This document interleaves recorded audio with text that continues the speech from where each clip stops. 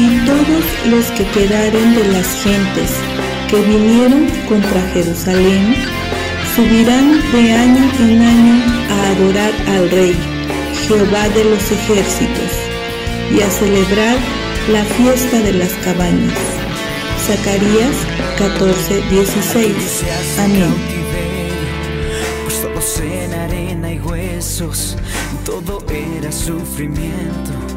el pecado de tu pueblo